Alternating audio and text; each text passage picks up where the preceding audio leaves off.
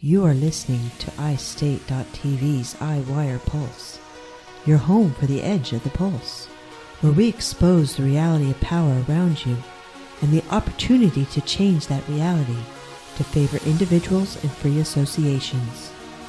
If you like this podcast, please be sure to go to support.istate.tv and sign up to be a monthly iStater. And now back to the show.